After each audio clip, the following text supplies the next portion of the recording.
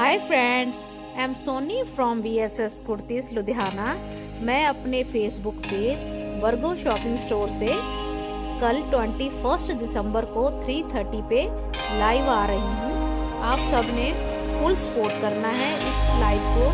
ज़्यादा से ज़्यादा शेयर करना है।